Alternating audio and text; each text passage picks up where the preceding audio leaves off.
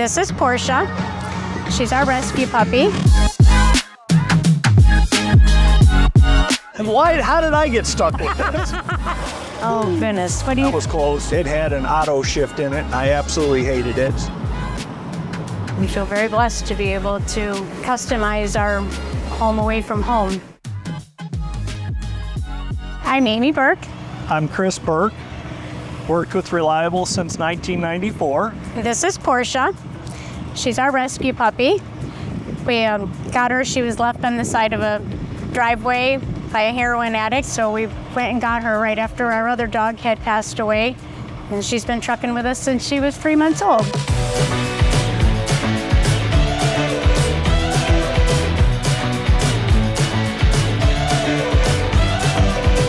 We grew up in the same neighborhood together. I was 14, he's seven years older than me, so I would watch him work on his trucks at his grandparents' yard. but we grew up in the same neighborhood and just been friends for a really long time. I've only been driving for 10 years. This is the only career that he's ever had. I've been driving since I was 18, so yeah, I'm 54 now. a Couple days. I've always loved trucks. When I was little, I always would ask for dump trucks and stuff, and my family would say, "No, don't you want a you know, kitchen set or play with dolls?" And I said, "No, I want a dump truck." When we got together, he taught me how to drive, and been driving ever since. This truck is actually a, a truck I bought that was uh, wrecked over the last five years. I put a different engine into it, put a different, uh, well, when I got it, it didn't have a sleeper. It's a uh, 2014, the engine's a 2019.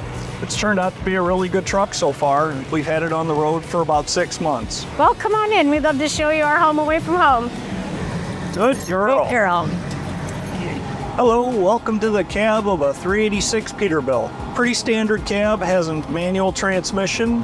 I, I definitely uh, like this over the one of the trucks we had, which it had an auto shift in it. I absolutely hated it. So this has a 13-speed manual and CB radio, has cruise. It has pretty much all the options most people have in their car. Electric windows, electric locks, good air conditioning, which you need on a day like today. Nice stereo system.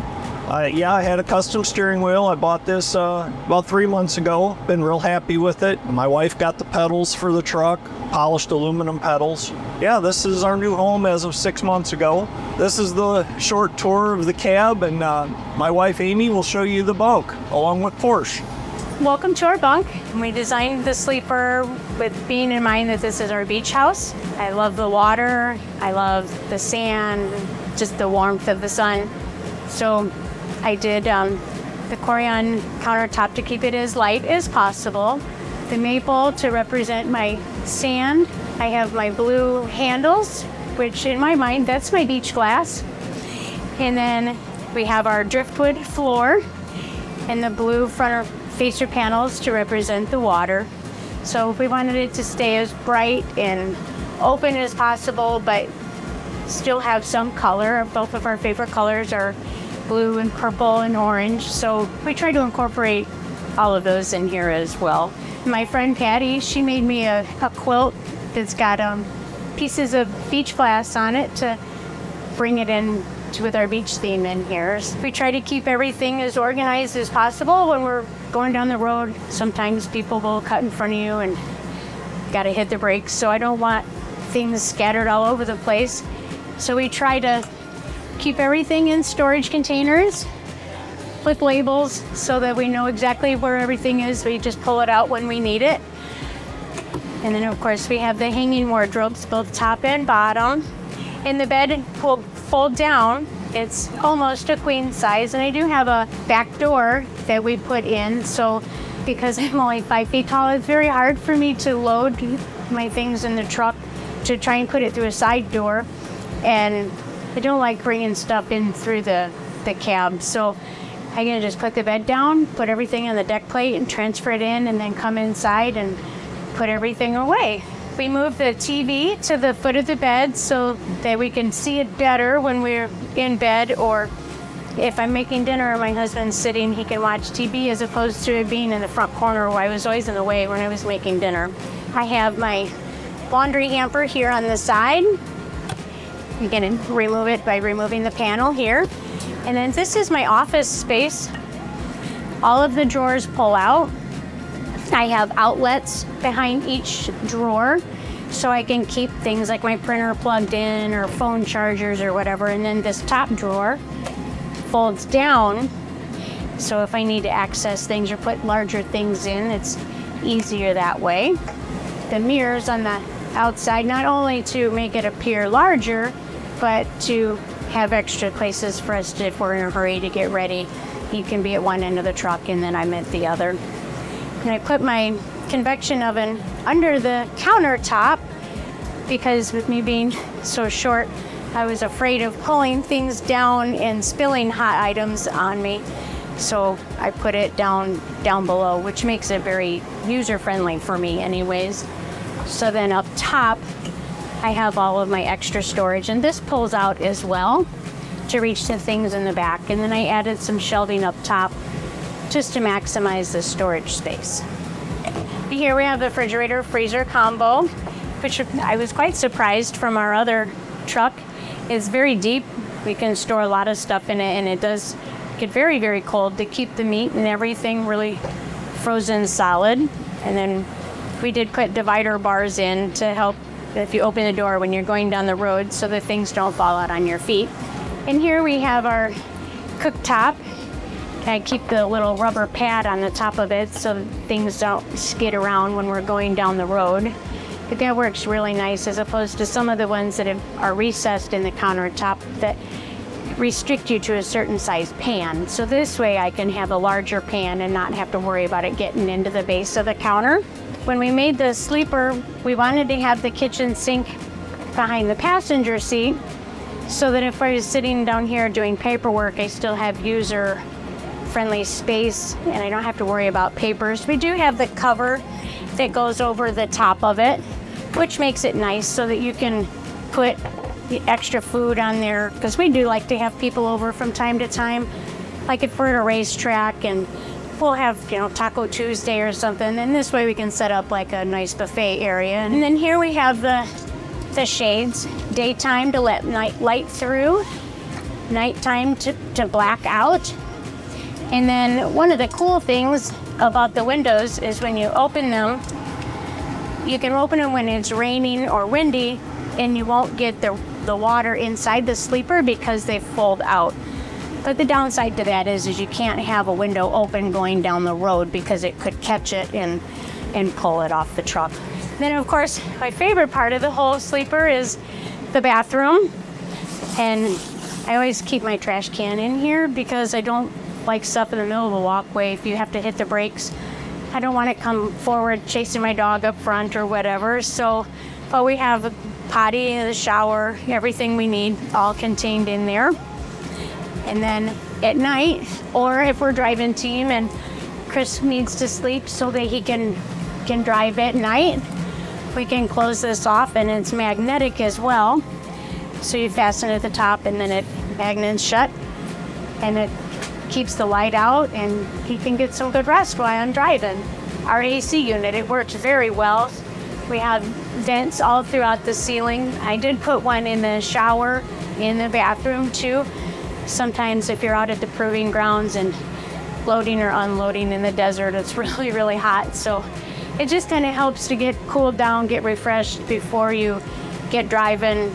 So put a lot of thought into designing our, our sleeper to fit our needs and our likes and our color scheme and to try to keep things as, as bright and airy as possible, but yet have ample storage space. I feel very blessed to be able to customize our home away from home. We thank you for checking out our bunk and we'd like for you to come out and see our trailer. This is our trailer. It's a 2007 Featherlight. Has four decks upstairs and a floating floor downstairs. This deck moves up and down. We can also unpin these panels and take them out so we can even gain more height when we have really tall vehicles. It's set up with chain tie downs in the floor. We have the E-track on the floor for the tire straps. We can haul up to seven medium to small cars. We have a winch in it. We do haul a lot of stuff that uh, is non-running. The auctions tend to have uh, barn finds and, and vehicles that haven't been moved in, you know, five, sometimes 20 years. So we do utilize the winch quite often. Back here, I have recently, I've taken this rear deck out and set it on the floor and we loaded vehicles that were nine foot, two inches tall in the back and actually were able to bring them down in here. This was lowered to the, to the floor. Our lift gate will actually turn into a ramp. We can actually just drive them into the trailer. When we bought it, it was pretty much kind of a, a shell. It did have the four decks, but it didn't have any of this. I, I've added all floating floor to it. I've widened the wheel boxes just to make it more user friendly and uh, make it versatile to haul all the different types of vehicles that we encounter.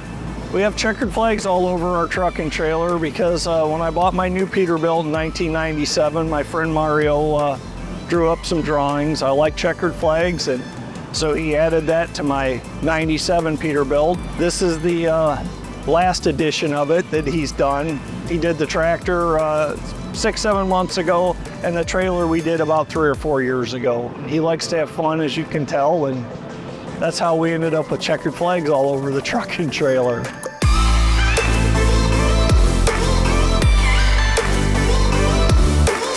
Living in the truck with your husband, um, it can be challenging. You have to choose your battles, but it's good. I wouldn't change it for anything. I like to drive team. I like to keep going.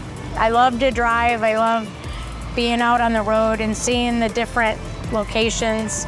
We have some really, really amazing customers. I love to see the customers and interact with them. And some of them we've gotten to watch their children grow up over, over the years, just in different times, taking them different vehicles. I'll drive days and he drives nights. We just keep keep going as much as we can. Then when the auctions roll around, then we'll go to the auction and take a little break from being out on the road. She loves to be on the road. She loves uh, trucking. She'll sit up front and look out the window or, or she likes to hold, hold my hand if we're driving. So she'll put her paw on mine. Ever since we put her in the truck, as soon as the truck would start moving, she just, like a real baby, would fall asleep. There's so many unique events. I mean, Monterey is probably the the biggest event that we do. Um, all the auctions, all the show vehicles, all the races, historic races. It's uh, the biggest event we do, and probably the most memorable. So there's just so much going on at one time. Some of the other things that we've gotten to do too is we'll haul some armored vehicles for the government or anybody, something being transported that's really heavy. We can ramp our lift gate. So it's been kind of fun to see what we can and can't do with our trailer. But one of the coolest things with working here is, you know, we've gotten to meet people like Jay Leno and Barry Meguiar and it's some of the different events and it's just been really neat to work with them one-on-one and do their deliveries and visit with them. Yeah, we, um, we have a lot of good people here. There's a lot of, lot of wonderful people that work here. People have been here for a very, very long time. Just open people with welcome arms and always willing to help. When we've lost a few very, very good ones and that's kind of challenging because you go to places for dinner and you go, oh, I remember going to dinner with so-and-so there and I love how everybody's willing to help each other. Our theory is you don't ever want to leave a man behind. So if we're in an event loading, even if we're done and all closed up, we still want to go to each trailer and make sure nobody needs any help before we leave. We've been in this situation where we've needed help before. And I just don't want to leave anybody behind that could use something because I don't want anybody to get hurt. At the end of the day, is everybody's safe, the cars are safe, the equipment's safe, the business is prospering, and if the business is doing well, then we're all going to do well. Thank you for checking out our truck and trailer. Looking forward to seeing you soon.